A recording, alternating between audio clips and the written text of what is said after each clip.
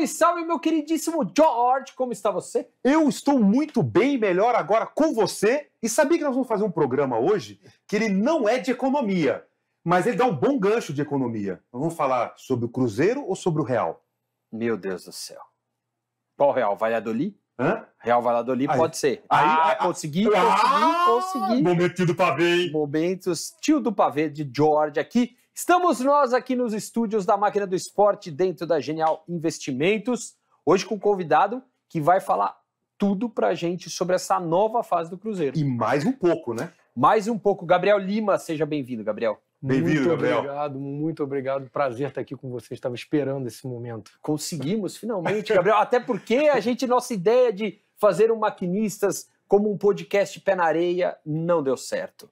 O clima em São Paulo torna inviável qualquer possibilidade de fazer algo no- no- ao ar livre. Então, nós estamos aqui no estúdio da máquina, Gabriel. Seja bem-vindo.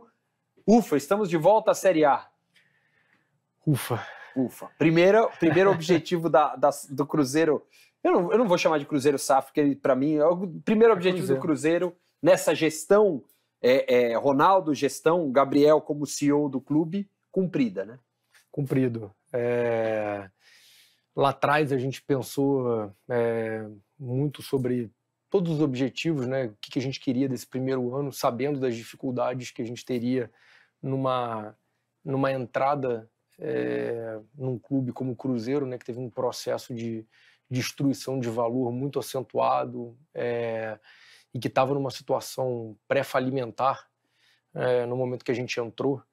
E tinha ficado muito claro que para esse projeto funcionar, a gente precisava em um ano voltar à primeira divisão. E com muito trabalho, um pouquinho de sorte, aqui estamos é, celebrando o acesso. Sem sustos, né? O que foi melhor, né?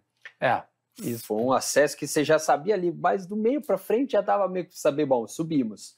totalmente. Não foi assim, com tudo que a gente tinha que lidar, com tudo que a gente teve que trabalhar no extra campo.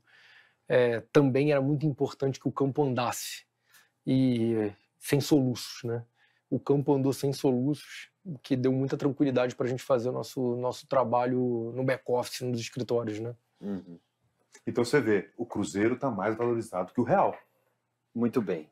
né? Sim.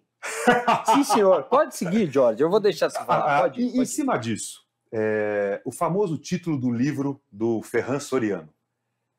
É, a bola não entra por acaso? Não, não entra por acaso.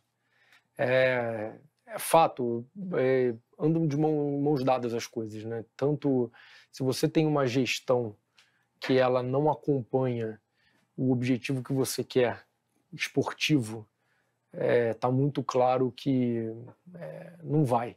Então, a gente está numa num momento da indústria do futebol, é, não só no Brasil, acho que no mundo todo, é, que o profissionalismo, a gestão fora, do, fora dos gramados, pa- passou o tempo que você fazia uma gestão só olhando para dentro de campo. né? Então, ah, vamos lá, a gente mete os melhores jogadores e vida que segue e o resto é esquecido. Não dá para fazer futebol desse jeito mais. Então, assim, é uma é, tem que ter uma estrutura empresarial, seja qual for o modelo que você escolheu, o modelo associativo, o modelo de clube-empresa, isso independe, independe, mas com um modelo de governança sério, é, com modelo de gestão, com processo. É, se não tiver isso, não anda, porque também os jogadores hoje exigem isso. Você tem que ter profissionalismo, você tem que pensar hum, a parte logística é, de maneira eficiente e, com, e- e de longo prazo. É, você tem que pensar na- no descanso do jogador. Você tem- tudo está integrado. Se o negócio não funcionar, se a máquina não girar, é, o campo não anda. Então não, não tem, não tem milagre, não tem mistério. A bola não entra por acaso. Gabriel, você passou pela Octagon durante sete anos de Octagon, foi Sete isso? anos de Octagon. Aí você estava já na Octagon. Você foi, você chegou a trabalhar na Octagon pré-Ronaldo, não? Cheguei. Trabalhou na Octagon pré-Ronaldo, aí o Ronaldo comprou a, a participação na Octagon, aí depois você foi alçado ao, Valladolid, ao Valladolid, que eu tive aula antes aqui, errei de novo, Valado ali. ao Valladolid. E aí, é, como é que foi essa transição, primeiro, de sair da agência para ir cu- cuidar de um clube de futebol, que também foi uma coisa meio repentina ali do Ronaldo, dono do Valladolid, né? É, na verdade, é, foi planejado de certa forma, né? A gente lá atrás, é, eu já trabalhava na Octagon há bastante tempo, desde 2012, né? Então eu saí do mercado financeiro, é, com, como muita gente tinha sonho de trabalhar com esporte e no pré-Copa do Mundo eu tive a oportunidade, eu vi esse movimento da indústria, né? De Copa do Mundo, Jogos Olímpicos no, Brasil, no Brasil, um momento único para quem quer quem queria entrar na indústria é, esportiva, não pensei duas vezes, tive a oportunidade na, na Octagon. Na época, a agência tinha cinco profissionais, né, então muito pequenininha, com um nome global muito forte, mas no Brasil ainda dando os passos iniciais. Ali eu me formei como profissional, é, aprendi, saí do lado de finanças e aprendi um pouco sobre marketing, marketing esportivo, me conectei com muitas marcas, né? Então a gente foi, na época, a agência que teve maior quantidade de é, clientes patrocinadores de Copa do Mundo, depois nos Jogos Olímpicos também, e aquilo me formou muito como profissional.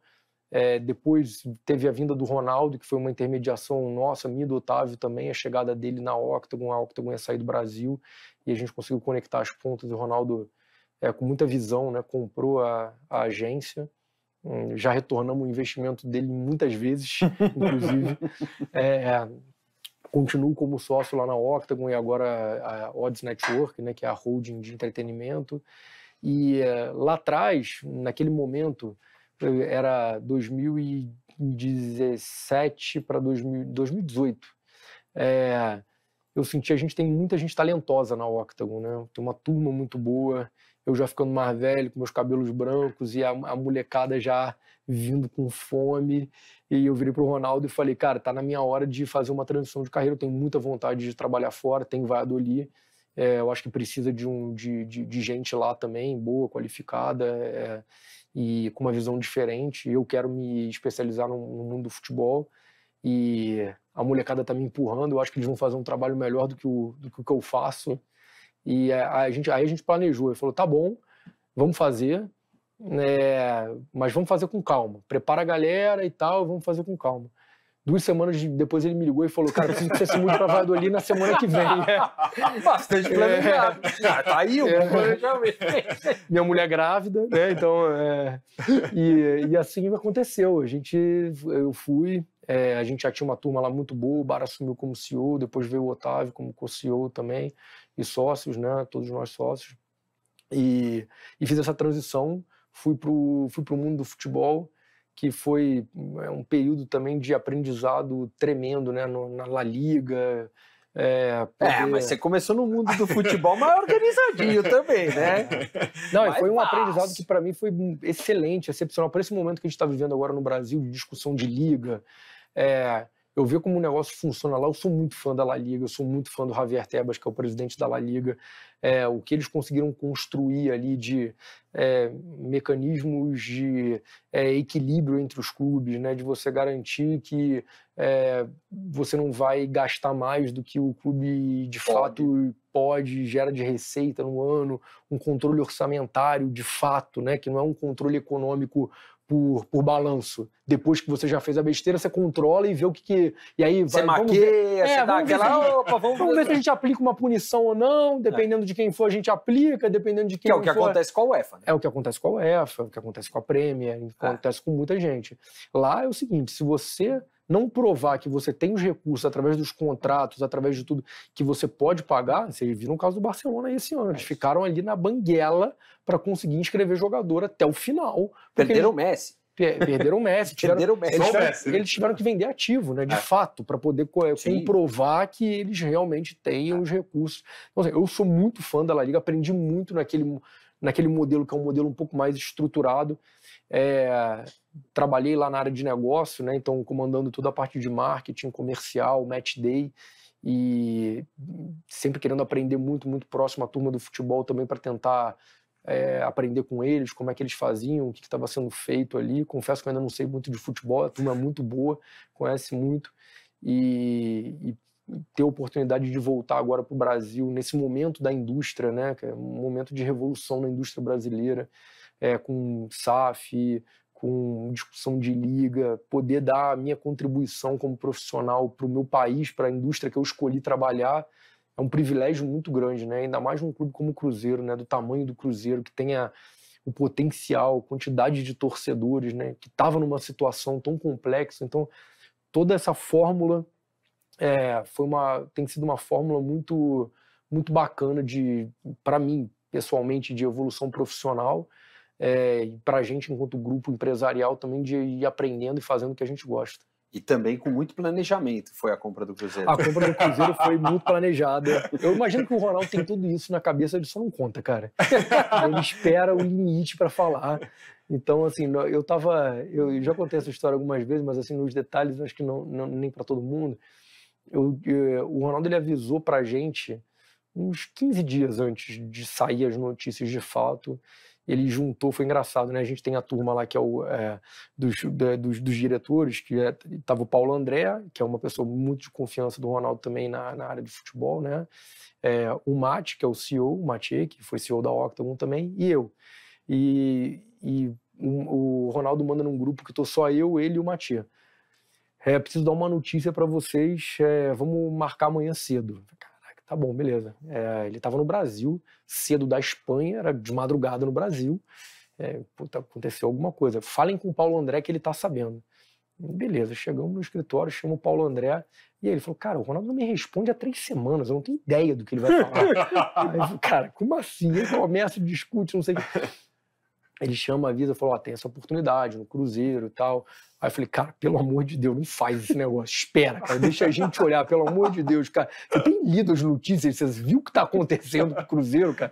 Aí ele, não, vambora, pô, é nova legislação, é SAF e tal, pá, Aí a gente teve um tempinho conversando com a turma da XP, tivemos um tempinho para estudar um pouco melhor, mesmo assim, com uma preocupação muito grande, né, de fazer o, o movimento. Ele falou, cara, não, vamos fazer o seguinte, a gente assina um memorando de intenção de compra, analisa, faz uma, é, uma auditoria confirmatória dos números que apresentaram, das coisas que apresentaram, e lá na frente, se der certo, a gente compra. Ou seja, seria um trabalho de quase meio ano. Né? É isso aí. É isso aí. 120 dias para analisar tudo, beleza, tá bom.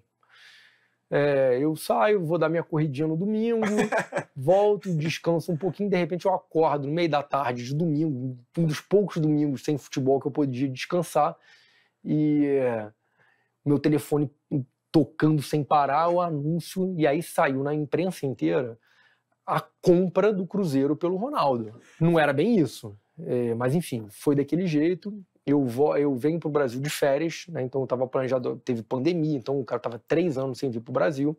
Eu venho para o Brasil de férias, e aqui você continua de férias. E aqui eu continuo até hoje. Então, basicamente, eu não voltei, entendeu? Então, é, fiquei com a minha família aí. A minha família veio de férias. Eles tiraram férias, eu não. Então, começamos todo aquele processo. A gente fez uma combinação lá de fazer uma. Dentro de, dessa é, auditoria confirmatória, a gente fez uma combinação também de tocar no paralelo futebol.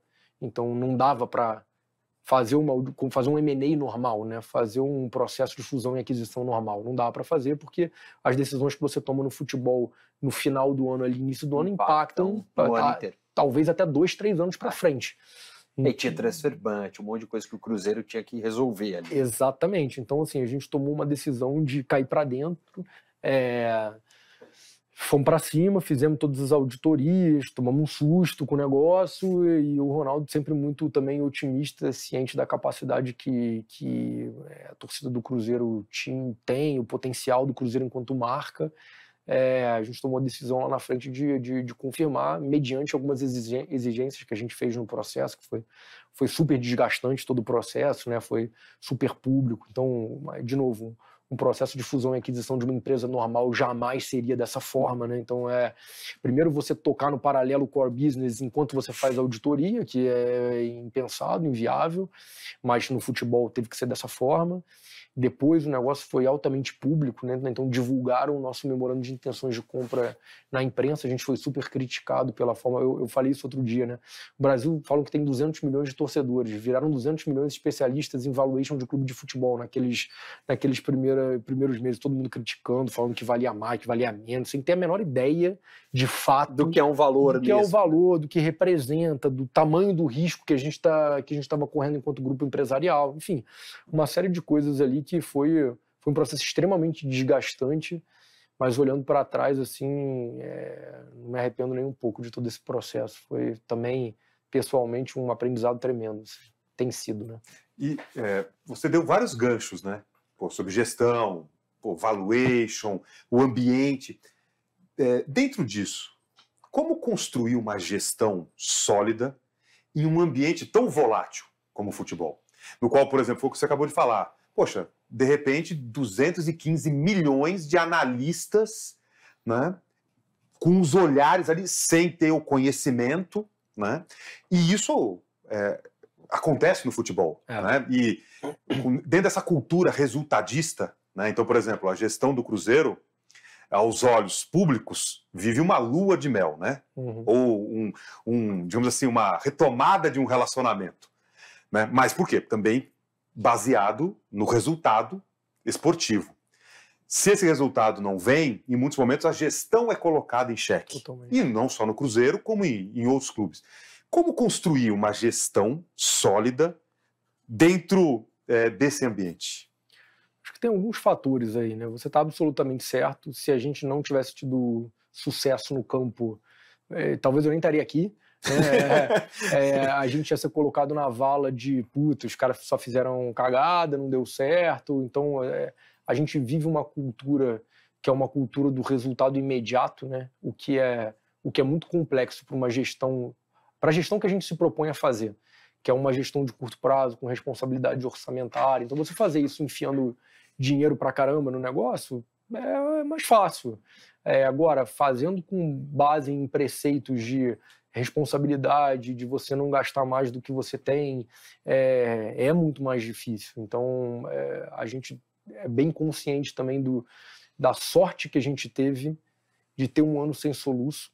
Obviamente, a gente atribui também parte dessa sorte ao nosso trabalho, né, ao trabalho de todo mundo.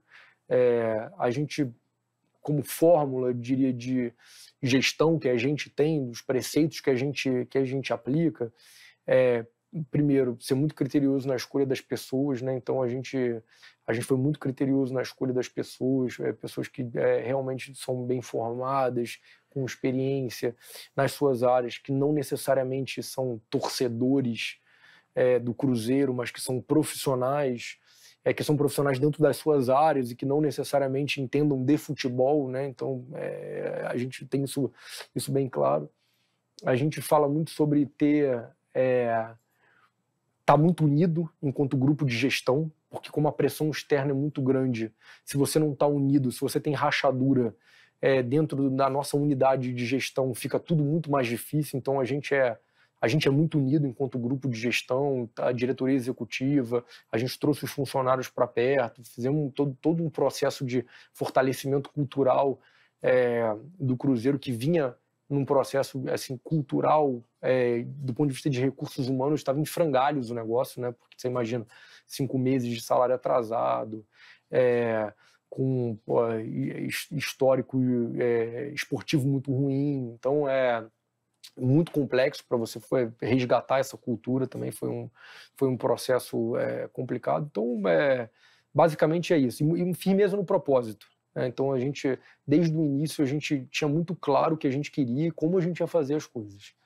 É, independente da turbulência externa. E eu acho que talvez um, um melhor exemplo para isso foi quando a gente chegou e a gente teve que fazer cortes muito duros no elenco é, que a gente sofreu uma pressão muito grande. Hoje eu estava até brincando, cara, a gente esquece né, como é que foi, mas o início foi super duro, a gente foi super questionado, tanto o modelo de negócio quanto o, o, o modelo de gestão esportiva. Ah, protesto da torcida. Né? Protesto da torcida, enfim, teve. É, e eu acho que a firmeza no propósito fez com que a gente não se desviasse do caminho. Né? E também atribuo um pouco isso a, ao modelo empresarial e de dono. Então é, é mais fácil você fazer isso quando você tem um dono que fala, cara, é por esse caminho que a gente vai, esse caminho que a gente vai seguir e vamos embora. E a gente vai apanhar, mas vamos seguir. E, enfim, foi o que eu falei, né? A gente ter sucesso esportivo é muito importante. A gente sabe que não vai ser sempre assim, que a primeira divisão é muito difícil. A gente tem muita consciência, a gente tem falado isso muito, principalmente internamente, né? Não deixar o nosso orgulho cegar a gente, né? A gente tem que ser orgulhoso do que foi feito esse ano, do que Sem foi dúvida. construído esse ano, mas a gente não pode deixar esse negócio cegar a gente para frente. A gente tem que usar esse orgulho para a gente mergulhar ainda mais no trabalho, no que tem que ser feito, porque assim, a gente não está nem perto de resolver o problema do Cruzeiro. O problema do Cruzeiro é gravíssimo, é seríssimo. Então, é, a destruição de valor ela vem muito rápido. Agora, você construir valor Ou passo a passo, né? o reconstruir, é muito difícil. E leva tempo. E as pessoas têm que entender, os torcedores têm que entender que não vai ser feito de uma hora para outra, não vai ser de uma hora para outra que o Cruzeiro vai estar brigando lá em cima, disputando tudo. E, e eu também acredito muito que a torcida, ela entendeu isso de uma certa forma, sabe? Esse ano, demo- as demonstrações de carinho que a gente teve também é ao longo das competições, né? a gente teve momentos, cara, que foram inesquecíveis para mim, entendeu? A eliminação pro Fluminense, que a gente perde de 3 a 0 no Mineirão e a torcida continua gritando, cantando, 10 minutos depois que a torcida acaba, cara, é um negócio muito impressionante. Muito impressionante. A perda do título pro Atlético Mineiro, que a torcida também fica 10 minutos gritando, celebrando, mostra que também existe um entendimento muito grande do, do propósito e do que a gente quer fazer. E só emendando, você, tocou num ponto chave, né? É, o engajamento do torcedor. né? Ele é peça-chave né? No processo. né? É, como construir um plano estratégico de comunicação? Você falou do ambiente interno, né? a comunicação interna, essa gestão está bem, com as bases bem sólidas. Mas é, o, o sarrafo do Cruzeiro, que normalmente já é alto, agora com acesso para a Série A, e não tem jeito, né? O torcedor ele vive dessa paixão. Sim. Como construir um plano estratégico de comunicação externo que consiga passar para o torcedor de uma maneira Consiga clara nivelar, né? A, isso, o- a, a a expectativa, expectativa. né? A expectativa de maneira que o torcedor entenda, ó, saímos da Série B, estamos resgatando valores, né? Toda a marca Cruzeiro, vamos agora para o segundo passo, né? É, isso está contemplado, isso será feito de maneira que o torcedor entenda claramente, porque às vezes tem sempre aquela expectativa, né? Poxa, virão grandes jogadores, vamos disputar títulos, tem a rivalidade, o ambiente é volátil, a gente sabe, a cultura resultadista que nós comentamos. Como ter um plano de comunicação que faça com que o torcedor, dentro da sua passionalidade, ele consiga colocar gotas de racionalidade para entender o processo? É, você tocou num ponto chave. Existe uma expectativa, por mais que a gente explique, fale, demonstre, a expectativa ela sempre vai estar lá. Ela sempre existe, porque o Cruzeiro é gigantesco, é o Cruzeiro multicampeão e a torcida tá e, e, e é num passado que não é num passado distante. É, isso que eu ia falar. É o Cruzeiro, passado- Cruzeiro de 10, 7 anos atrás era um É num- time É num passado, avassalador. é num 17, passado 18. recente. Eu confesso, eu passei três anos na Espanha que eu me desconectei um pouco do futebol brasileiro. E quando comecei a olhar o Cruzeiro, eu fiquei impressionado. Eu falei, cara, não foi o Cruzeiro que, quando eu saí do Brasil, não estava desse jeito. Era o grande time do Brasil. É. Então, é, Tava ali brigando igual para igual com Palmeiras, Flamengo e Cruzeiro. eu, a nossa estratégia de comunicação é uma só: falar a verdade, ser transparente. Porque não tem outra forma de conduzir as coisas com a torcida do que você ser transparente e dizer a verdade. A gente não tá. é, é, o modelo de gestão que a gente emprega, ele é um modelo que não dá para fugir disso. Eu a gente mostra com dados e fatos que o buraco é muito mais embaixo. Mas é muito mais embaixo, gente. Aí- É gente- muito, muito mais embaixo do que a gente imagina e do que você está comentando. quando a gente entrou no Cruzeiro, o Cruzeiro ia fazer 40 milhões de reais de caixa nesse ano. Com 96 milhões de reais assinado no futebol. Assinado.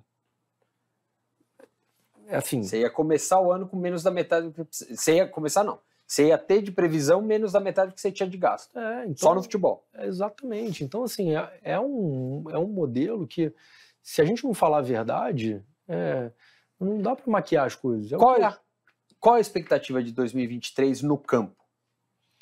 a gente quer é, se manter na primeira divisão, primeiramente, porque eu acho que é uma. é, o 2023, para mim, ele é um ano chave.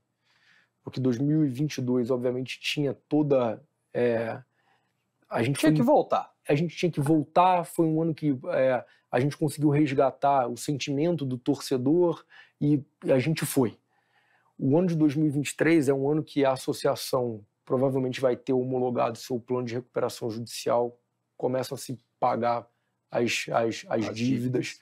É, Então tem um, tem um desafio tremendo ali nesse, nesse, né, nesse equacionamento dessa, desse, desse problema. É, a gente sabe que custa muito mais caro você fazer Série A do que você fazer Série B. Os times estão ultra competitivos. É, a gente estava comentando, antes de entrar no ar, né, a gente estava comentando um pouco disso. Né? A gente tem quase metade dos clubes que vão ser clubes empresa. Ou empresa ou gerenciado empresarialmente. Ou, ou gerenciado empresa, empresarialmente, com é, uma indústria que está crescendo muito, que tiveram alguns clubes que souberam capitalizar esse momento, é, com investimento de capital estrangeiro é, que tem só o valor da moeda já faz com que o negócio aqui fica, fique muito mais barato para eles do que é, é para a gente, né? Que a gente brinca, a gente tem o nosso shake é brasileiro, né? nosso shake é em real, então é, é e então é um ano que o primeiro objetivo é se manter na, na, na, na primeira divisão, é, de repente beliscar ali um meio de tabela, é, mas um ano chave, um ano de transição. Se a gente sobrevive, entre aspas, né, brincando, a 2023, eu acho que 2024 vai ser um ano que a gente já vai respirar um pouco mais tranquilo, porque tem é, você começa, à medida que o, que o, tempo vai passando, você vai desbloqueando receita que estava antecipada, você vai é, tendo mais receita, porque tem uma, tem uma série de receitas antecipadas e já gastas, como, por exemplo, direito de TV, que você ainda leva um tempo para você poder desbloquear. Até quando esse tem negócio. isso bloqueado? Você é, pode falar. o ano que, ano que vem ainda tem uma parte, e a gente começa a desbloquear no ano que vem. Isso é dinheiro da Globo de, de Brasileirão. Exatamente. Nossa Senhora. Exatamente. Então você tem é, receitas de patrocínio, patrocínios que já foram assinados com um valor totalmente diferente do que, do que o Cruzeiro vale hoje.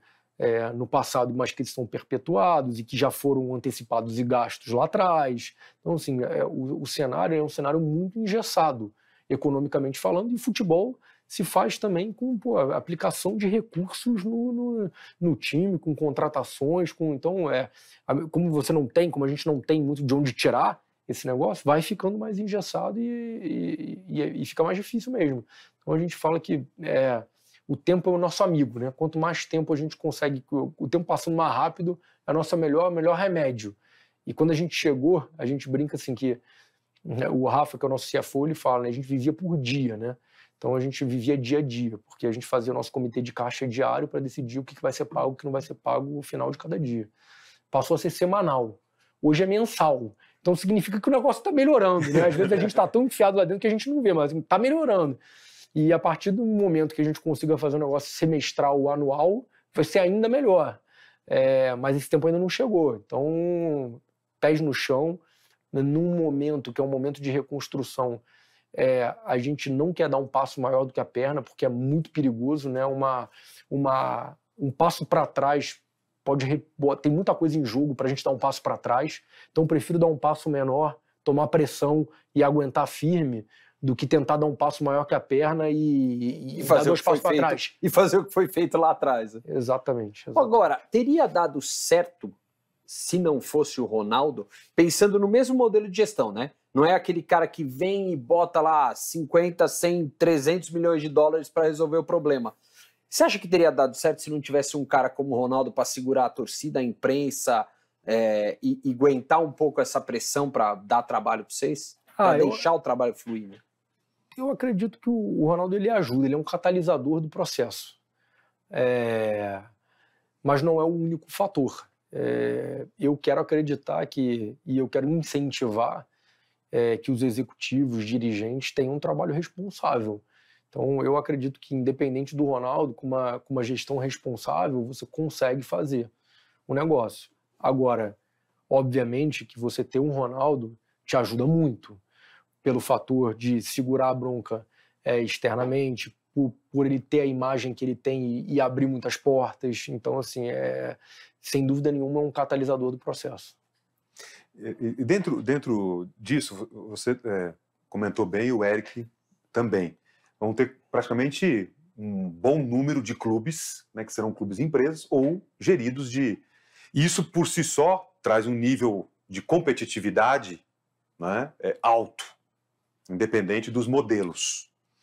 É, isso também é mais um fator de pressão adicional Porque há é, esses Claro. fatores comparativos, né? Dúvida. Pô, por que determinado clube não consegue investir, sendo que é no, no patamar de outro?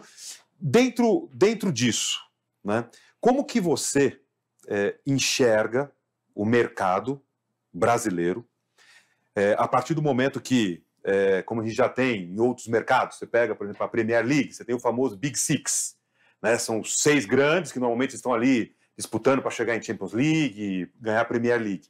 No Brasil sempre houve aquele estereótipo: o Brasil tem 12 grandes clubes para se disputar títulos. tal. A partir dessa consolidação, do amadurecimento do, da nossa indústria, é, vai haver um afunilamento na sua visão, olhando não só desportivamente, como de potencial de mercado? Eu acho que os clubes, eu acredito, né? Que os clubes que conseguirem entender o movimento de profissionalização mais rápido é, e que conseguirem entender que você tem que construir marca para você crescer no longo prazo vão sair na frente. É, alguns já saíram, né? Então, o Flamengo, que tem um modelo associativo, mas que entendeu muito rápido que ele tem uma força enorme com 34 milhões de torcedores e que ele precisa capitalizar em cima da marca dele e continuar crescendo marca, ele já largou na frente.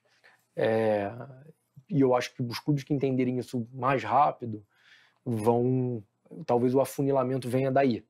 Dos clubes que nesse período. Eu acho que a gente está num momento agora que é um divisor de águas no futebol brasileiro. A gente está discutindo criação de liga, é, a gente tem um modelo que, com críticas ou sem críticas, já, a gente tem um modelo que se provou eficiente para a construção de um, de um modelo empresarial dentro do futebol, é, que é o modelo internacional. Clube empresa e liga própria. É, esse binômio, normalmente, é o binômio que faz o negócio crescer. É, então, agora é o, momento, é o divisor de águas. Quem souber entender o momento do mercado, quem souber investir nas coisas certas, vai largar na frente e aí eu acho que aí o descolamento vai, vai, vai acontecer. Tem, como o Brasil é muito grande, tem um potencial enorme de você ter um grupo grande de clubes com faturamento alto, relevante, que disputem coisas grandes. Não tem nenhuma dúvida disso. Então, é, é 200 milhões de pessoas com é, talvez três quartos da população que Interessada nisso. são muito interessadas em futebol e que o consumo é muito alto. Eu fiquei muito impressionado quando eu vi os números do Cruzeiro é, de venda de camisa, faturamento de loja, é, Sócio sócio torcedor. É muito impressionante quando eu comparo com a realidade que eu tive é, espanhola, não a realidade do Valladolid, porque eu sei que o Valladolid é um clube menor e que tem pô, uma população lá e na cidade de Valladolid de 300 mil habitantes, que é, que é uma cidade no Brasil que seria uma cidade pequena, né? lá é uma cidade média, mas quando eu comparo com clubes grandes, médios lá, quando eu comparo com Sevilha, quando eu comparo com Betis, é, é muito impressionante o volume de vendas, o volume de o que, o que, o que gera de, de receita é, no entorno do clube é muito impressionante. E dentro Qual disso, o você- impacto do patrocínio da CIMED para vocês agora nessa reconstrução? É muito relevante. Muito relevante porque ele, ele abre uma via que até então a gente não tinha. É, e, e o futebol brasileiro é muito comum, né? E no futebol, não só brasileiro, mas eu acho que no Brasil é muito forte isso, né? De você, você vê aquelas camisas, você tem 200 patrocinadores, né? É, e a forma de você monetizar é vender cada centímetro quadrado da tua camisa. É, que, na minha concepção, não é um modelo inteligente nem para as marcas. Então, quando a gente conversou com o João, eu falei, cara, eu quero entender o que, que você quer e como eu consigo te ajudar a construir isso através da minha força de torcida, de engajamento. Ele falou, cara, é digital. O meu negócio é, é, é digital. Eu falei, cara, eu desconheço com a torcida mais engajada que a torcida do Cruzeiro no digital.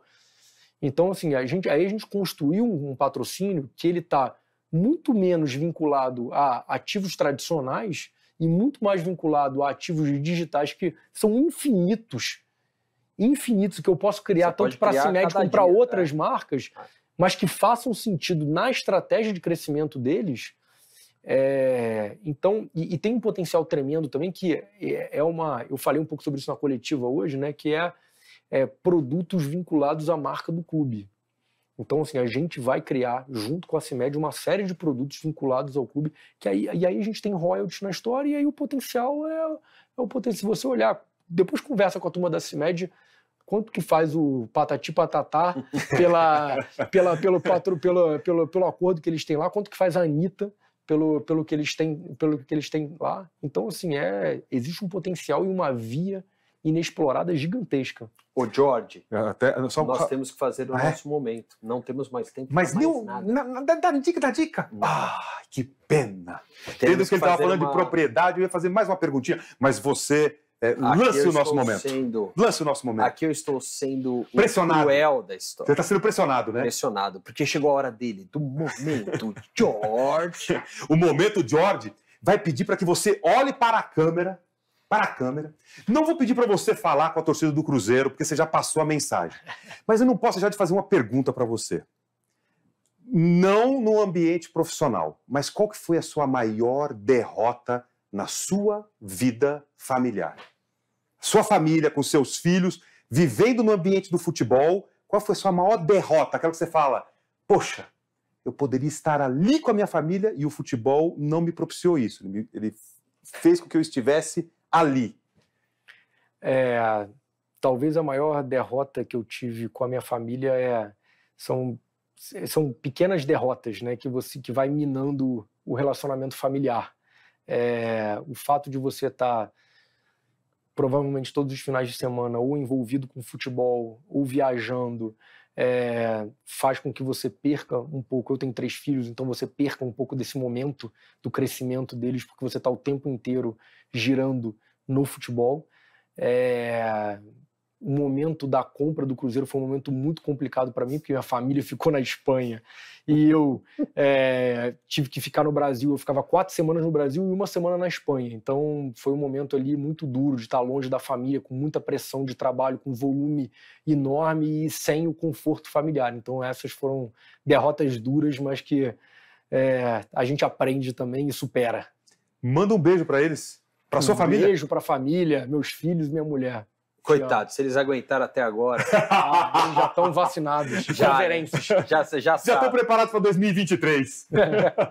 Muito bem, Gabriel Lima, CEO do Cruzeiro. Obrigado, Gabriel. Muito obrigado, Gabriel. Eu que obrigado mesmo. Infelizmente, a gente vai ter que ir encerrando aqui, né, Jorge? Sim. Nossos maquinistas, mas, logicamente, terá O 2. repeteco. É né? repeteco, Tem o famoso repeteco. O 2. Você aceita o convite? Tá aceito já. Ah, legal. A gente vai falar de muitas outras coisas, viu?